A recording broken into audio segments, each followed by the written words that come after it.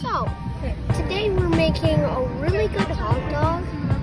Um, last time I did this, we made like a really good like pizza, um, with the same type of bread right here. But this time, we um have we're doing actually a, we're actually doing a different thing. So, what we're actually doing is we're cooking um, a hot dog away from home again and at the same place that we did the last one. So,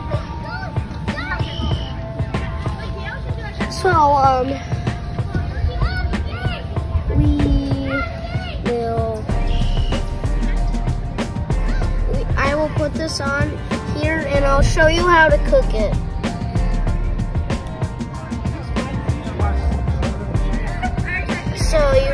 On, you just stick it through. And then once you have your camphor, you go up to the fire and ever so slightly, every few seconds, or every few 10 seconds,